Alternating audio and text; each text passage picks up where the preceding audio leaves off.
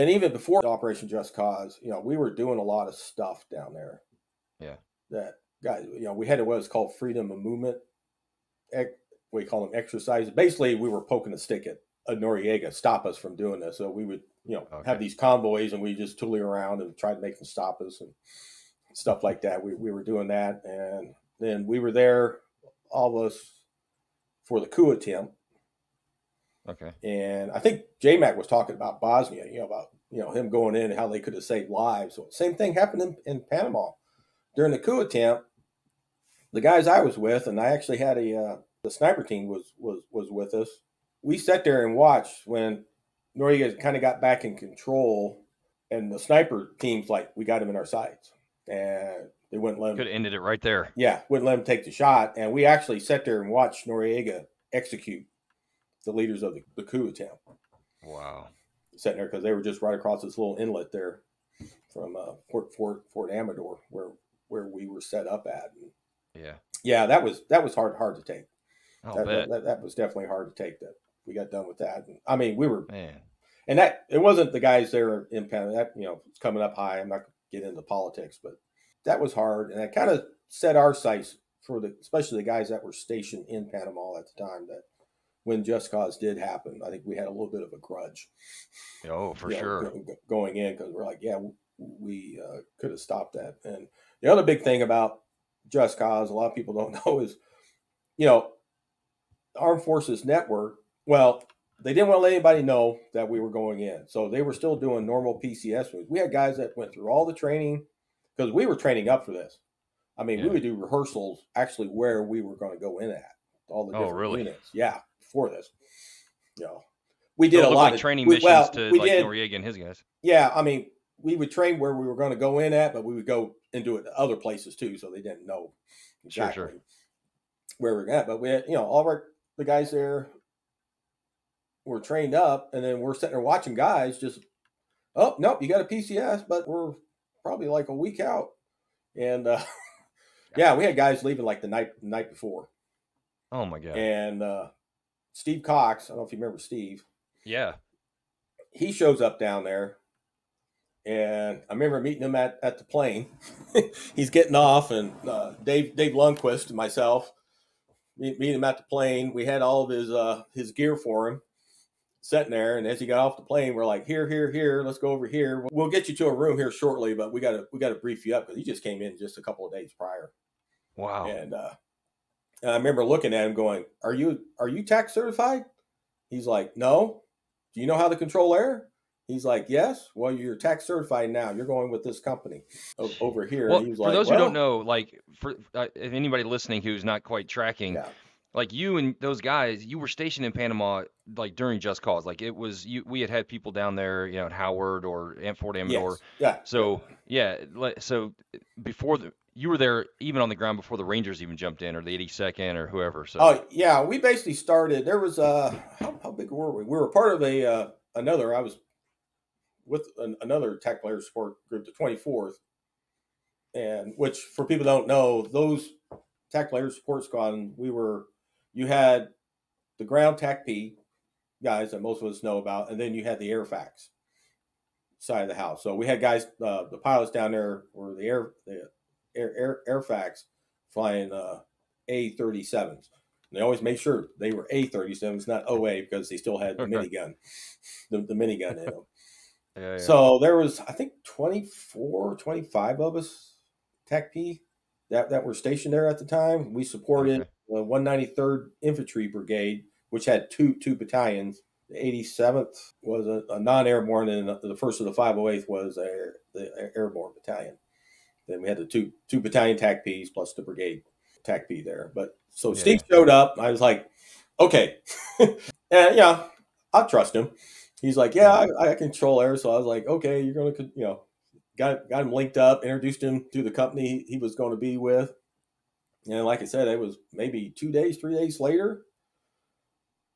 We're going through, and we haven't before this. I mean, I know at least 24 hours prior, none of us has slept Yeah. for, for 24 hours.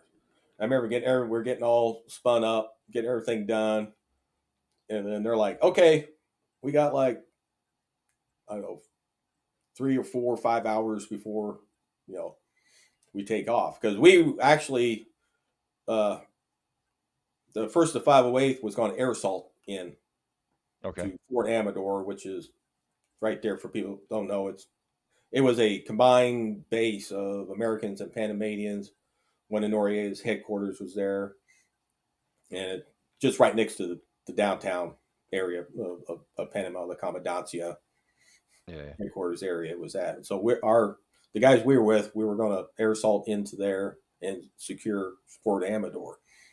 So we're all sitting around. You know, I remember just laying back on my rucksack, going, "Okay, get some sleep." And uh, Tommy King, who was there at, working at Brigade at the time, comes running up to us and going, "Oh, here, your call signs have changed. The authentication system has changed." and gave us all this stuff. And he goes, "Oh, by the way, we're we're going to be heading out here shortly." And he's like, "I got to go," and he just takes Oh off. my and we're- we're God. going, okay, what? What? We got what now? We got to get rid of what? And doing on about that time, we get the word load up because uh, what happened was Armed Forces Network announced the invasion before they were supposed to, Oh my god. so we had to go in early. You know, so everybody was going in early. Unfortunately, because we were there for all the units that were there, staging out of Panama, we were hitting our targets before the airborne, the guys coming in, the 7th ID and the Rangers and the 82nd, okay. you know, were, were scheduled to hit their target because, you know, they're flying in. The planes can only go so fast and speed up. They're not to. Sure, sure. I think they sped up. sped Oh, up I got you. So you had to bump up the timeline. So they they were they were on the the old timeline. Yeah. So yeah, they were going to be later than. Oh, yeah, okay. because you know they're flying in scheduled, you know, TOT time, drop time, Yeah, yeah. whatever at, at, at this oh, time. Oh man, I didn't know that. yeah. So we were actually going in before them. So we load up, and I don't. I have never seen a Blackhawk loaded with so many dudes Oh really? because we were sitting there and we were actually the guys in the in the seat. I, I'm not kidding you. Their, their their bottoms were only hanging on by that much. Jeez. of the seat. And so we had four guys across the seats, four or five, sitting on the edge. I was right behind one of them, and I had to hold on to him as the person behind me held on to me as we were taking off and going. And luckily, it wasn't a very long flight because you're just Yeah, no flying doubt. around, going out in the ocean, coming in surprise. But because we had to leave early, we were supposed to have AH-64 Apaches take out some of the uh, the uh, air, air defense guns they had there. The, the ZPU, uh, forget now, twos, 23 millimeters. They had setting on the hilltops at Fort Amador. Okay. Well, since we took off early, the Apaches never, you know, they weren't there. So we're coming around. All of a sudden, you start seeing the tracer rounds, and I remember there was a young private because we had the army was the same same problem. They had guys coming straight out of jump school Right. Right. and landing, getting on the bird, and I just remember this young private that was sitting next to me as we're flying in. He's like, "Oh my God, look at all those tracers!" And I go, "Yeah, there's three to four rounds in between those." And he was like, "What?" So we're sitting there, and we can see them. You know, initially they just heard us, and they're just, you know, as, as you see in a lot of stuff, they're just shooting the sky, hope, Yeah, hoping, yeah. hoping for the, the golden BB to come in. And for guys that, that weren't radios, I had my radio on. The pilot and co-pilot, my my frequency, our strike freq we had was close to theirs, so their stuff was bleeding over into my headset. Oh. So I'm hearing them, you know, just like, holy shit, oh, get down, get down, get lower, get lower, get lower. and about that time, it was like you felt it. It wasn't, it wasn't enough to bring the chopper down, but you felt it go. The the tail of the chopper just. oh, kinda- you're taking rounds. yeah, we took one, I think one one one round in, in, in the tail, and so I'm hearing the pilots, you know, pilot and co-pilot freaking out. They get Oh, down so low that we had this water coming straight into the helicopter because you know the prop wash was just blowing the seawater. So you know, half of us, if you were in the front God. two rows, we were half wet, soaking wet by the time, the time we got we, got to the LZ. So we're down there, we're doing this, and of course by that time all the helicopters are you know worried about tracer. We finally got below because the AAA were on the hilltop, so they can only traverse so so far down. So we got down below that, and that's why we were flo- flying as, as, as low as we were Oh, nice. popped in, We sit down. Luckily, training, you know, doing that there a couple of times, you know, when we got out, you know, run out, you hit the ground. Of course, this young private I was with, he lands next to me, but for some reason, we all go out like this, you know, fanning out like you do normally. Yeah. For whatever reason, he ended up like this to me. His barrel of his M16 was here, and he had it. He didn't have it on safe, and it's like pow. What? right by my face. Oh I'm my like, god. whoa! And I'm like, dude, man, private, get that over here. And I go, here, put that on safe. You know. And then his sergeant's like, who shot that? Oh my god. Get over here with. Yeah, keep, keep keep you guys safe. So we hit, and we started taking machine gun rounds as soon as we landed from a position. So I'm sitting there. It was me, the company commander, and his RTO, the fire support officer.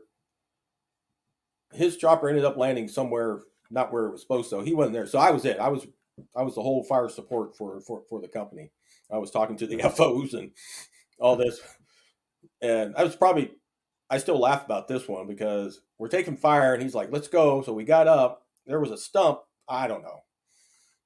Maybe it was probably about that big around where a tree was cut down. And he runs behind that. His RTO's laying there beside him. I'm scrunched up next to him. We're all trying to lay for cover behind a stump as machine gun fire's grazing over our heads. And he finally looked at me and he goes, This is probably not a very good place to be, is it? I was like, No, sir, it probably isn't. He's like, Okay. And once machine gun fire stopped for a little bit, I don't know if they were changing ammo or, or what they were doing, but you know, it's like I was like, let's go. And so we stood up and there was a small building close by that we ran up, got got behind the wall of that one. Yeah. And I just remember when we ran up to it, there were some doors, and those guys just ran up to us. So I cautiously went up to the door, and and this is where I almost had a uh, probably a friendly fire because I was sitting there, and all of a sudden I hear bash against the, the window of the, the glass door, and I'm Yeah. like, whoa! And I just happened to see a U.S. There was like five Navy guys that didn't make it out in time. Oh, really? So they were locked in there. yeah, they they locked themselves in in, in this small uh, building. I'm not even sure what, what what what it was. I was like, what? And they're like yelling, "Hey, get us out!" And I was like, "No, stay there. Just you know, wait it out. Just stay on the ground." So we're sitting there. I got up, talked to AC. We got some eyes on the area. The AC we had supporting us. He was scouting around. Took out the uh, machine gun nest that they had set Nice. up. Like I think it was three guys in that one. Ended up taking that out. But then then basically we're behind the wall here. Machine gun nest was over here. I was kind of controlling, and we were going to head on out, but we didn't notice there was some other guys sitting here. And I still remember to this day because we're doing one at a time. It was my turn to go, and I just got done talking to the AC, and I put my authenticator. This is back in the day; we still had paper authenticators. Okay. And I remember putting it in my side pocket. And for whatever reason, I took out to go uh, around or from the wall. And I decided, oh, I better make sure I got this stuff secured. So I pulled back, and as I was pulling back, a round just went right in front of my face. I mean, I felt, Whoa. I felt the heat from the round Jeez. across my nose. But I just remember, I was like, man, if I didn't just pull back for that second to check, you know, tap tap my pocket to make sure I, I, I had I had it secured in there. Who, who knows what was happening?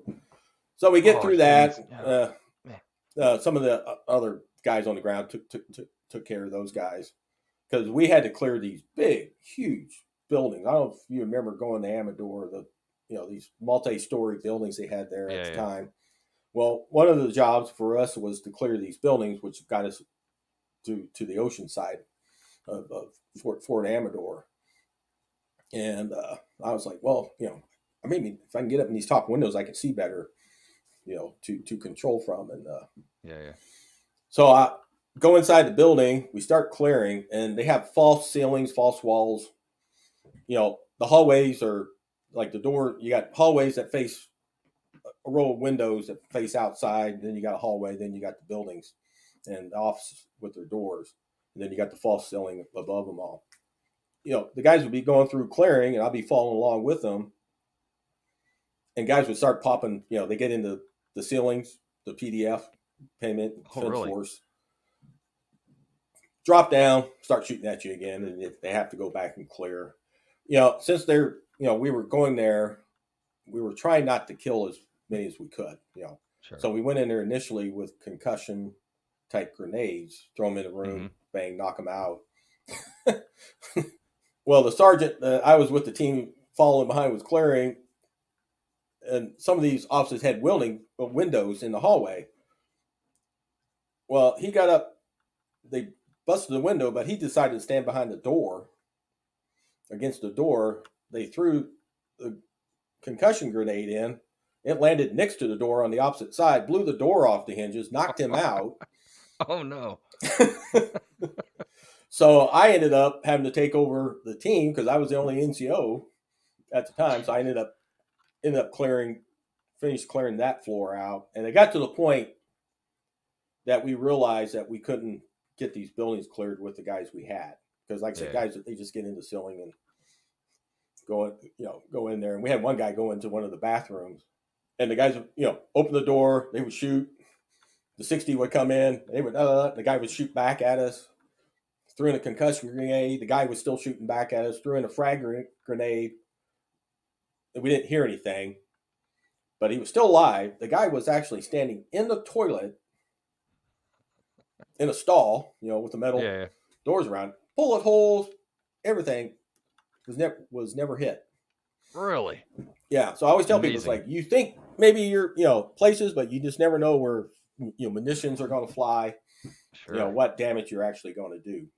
You know whether it's Yeah. drop a bomb and stuff like that. You may think you took it out, but it's good chance that it didn't get taken out because everything is based on where stuff hits, ricochets, blows up. You know, Right. ground, the whole thing. But yeah, so Wow. keep going. I mean, gotta cut this short. So they decided, okay, so they pulled us out. The battalion commander, Colonel Fitzgerald, got I don't know where he got this 105 from, but he brought in a towed 105, set it up to the building. They had a megaphone, so they're like, "Give up, give up, nothing." Direct fire, direct lay, bam, blow, blow a hole. really? Jeez. you know, and as they're doing it, it'd be like, uh, and it's like, boom, blow, blow a hole in it. So we got them to clear out the first building. We had the second building, so we moved back in. And guys in Korea would know what I'm talking about the benjo ditches and drainage ditches. Yeah. Well, they had kind of those there in Amador that would flow out, out out to the sea. So it was I don't know about chest high. So we're in that following along. There's a uh, I think they called it. It was a V three hundred. It's a light skin, uh, uh, four wheel dual axle uh, armor vehicle with like a Okay. ninety millimeter Cockerill gun in it. Okay. It was sitting there. It was active, and uh, Dave Lundquist, he was with the battalion, and just the way I was sitting, and it, they didn't bring the ninety against it, but they were shooting machine gun towards it. I couldn't get a, a good look at the target, so I was like, you know, Davey, can you see what I'm talking about? And where he was set up, he's like, yeah. So we got the AC on it, and, and Dave's calling in, call, calling in the, AC on it, and I'm listening in, and the company commander, he's like, oh, I want to see this. So he's standing up, and this is only this vehicle is only like four, four, 40 meters away, Jeez.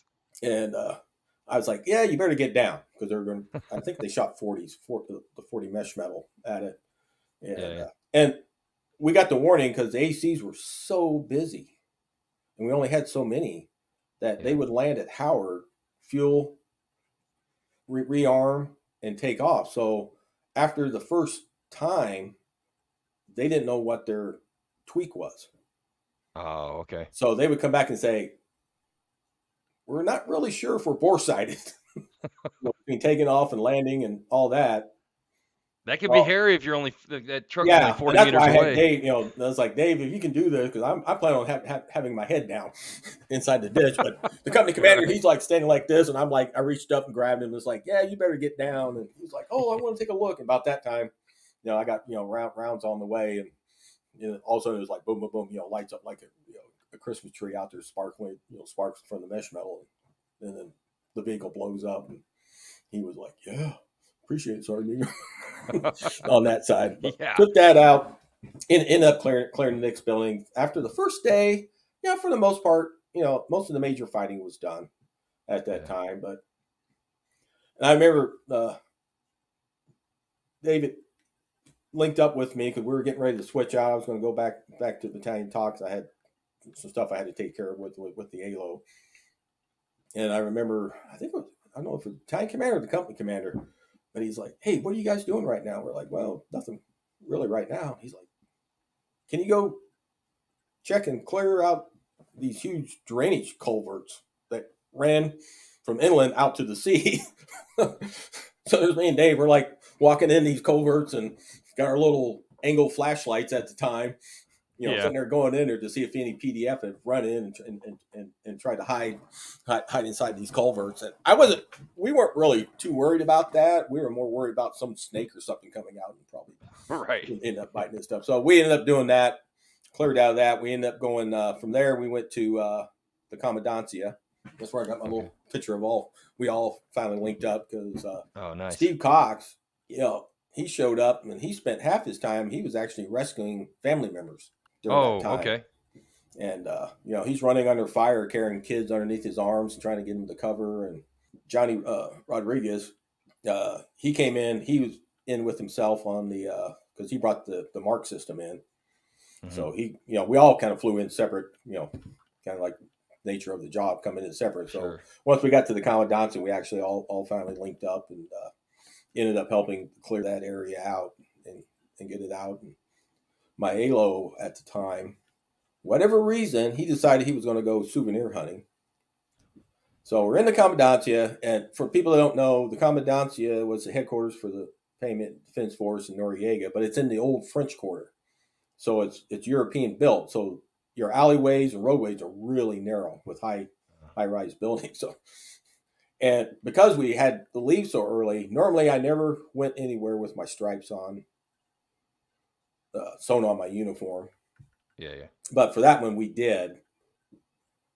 And you know, it's like one time we're sitting there talking. I'm talking to the FOs and told you a secure area, and all of a sudden it's like ping, ping, and we're starting to get sniped at. Now, the Panama snipers weren't really snipers. They were just guys in right. a high rise. Just shooting people shooting, yes. Yeah. So they weren't really that good at it when it came up. But I did notice, and everybody, even the, the FOs, are like, hey, Ingram, what? Looks like he, they're shooting at you.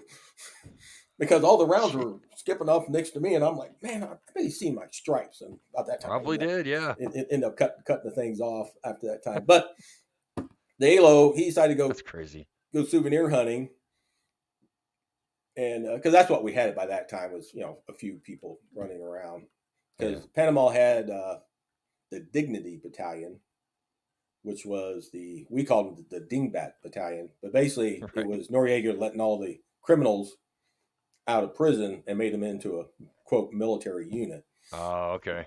At, at that time, so you had a lot of them running around just being criminals, really more more than anything else. But yeah, but the tank commander asked for our ALO, and I'm like, I don't know where he's at. And he's like, Well, Sergeant, you need to go find him. So here I am walking around by myself downtown French Quarter, searching searching for him. I finally see him digging around in some rubble, and I just grab him. He's like, Sir, come on, let's go back. Not quite secure yet, but yeah, but yeah, we uh, ended up staying there. Got cleared out there. Uh, about that time, get a call on the radio that uh, actually I think it was Mike Mike Denny was on the radio and said I needed to come back to the brigade area. So they brought a chopper in. I flew out, got back. The uh, the Seventh Special Forces Group guys that were up at Rio Hato couldn't talk to the AC 130, so I ended up going up there and working with them. Oh, cool! Uh, for about three days, maybe a week, working with them to, for them to complete their their mission. Yeah. And the only reason I, I bring that up because that segue into one of the other assignments. So I ended up working with them. You know, like, hey, appreciate it. Can can you stay with us? We're like, no, nah, I got to get back. Came back. A lot of people don't know. You know, everybody left, but the war actually went on. Well, the conflict operation went on for like another two months because after that we were actually out in the jungle looking for everybody that ran away. Oh, okay. So we spent that time just uh, actually the one area where we set up our our operations area was a retired, I think seventh group command sergeant major that retired in Panama. He actually set up his place. I mean, he had concertina wire, everything. He dug foxholes. So he was like, "Hey, if you want to use my place, stage out of, you can. I, I got connections, so we're using him. Kind of was like, yeah, nice. these guys. So we go hunt, you know, these guys down. We pick up, you know, come in. I never had much much problem once we found them. But right. while we were there, I get another call on the radio saying, "You got to come back to Howard Air Force Base now." And I'm like, you know, Dave and I think Johnny. I don't think Steve was on that one. Steve was out doing some other stuff. They're looking at me like, "Hey, what's going on?" I'm like, I don't know. I'm thinking like my parents died or something. So yeah, yeah. I get back to Howard. Mike Denny links up with me and goes, "Hey, you like football?" I was like, "Yeah." He goes, "Okay, get cleaned up. You're going to the Super Bowl." I was like, "What?" He goes, "Like, yeah, you, you got picked to be the, the, the Air Force rep for the uh, Just Cause for for the Super Bowl." So I actually got wow. a free free week long, ten day vacation up to New Orleans at the time. Nice. Was because uh, they picked one guy from uh, each service. Army. So we had a uh, guy from the 82nd, uh, a Navy SEAL, uh, a Marine Corps, Lance Corporal, myself, and then we had a guy from the Coast Guard. Oh, okay. All show up there, and the owner of the New Orleans Saints actually paid for us to come up. Oh, and, nice. Yeah, it was nice. It was it was, it was kind of cool. Yeah, I just yeah. kind of cool. They brought us all down there. It, it wasn't aired on TV, but during the Super Bowl, but at the pregame ceremony, they brought us all out in the field and they read, you know, read our bio, what we did, you know, during no kidding. Operation Just Cause, and which was cool. But the coolest part was after the game, down on Bourbon Street, everybody started recognizing us, so we didn't have to buy a drink all all nice. the time we were nice. But yeah, so that that, that was kind of cool. I got the uh, got, got a chance to go to the Super, one and only time go, going to the Super Bowl and got to yeah, that's awesome the owner's box and met the NFL commissioner and wow, all these people. We actually got to go to the uh, the NFL owner team owners pre Super Bowl party. So oh, it was really? my first time being around millionaires slash billionaires. So that was like, yeah, that, that was definitely an interesting time.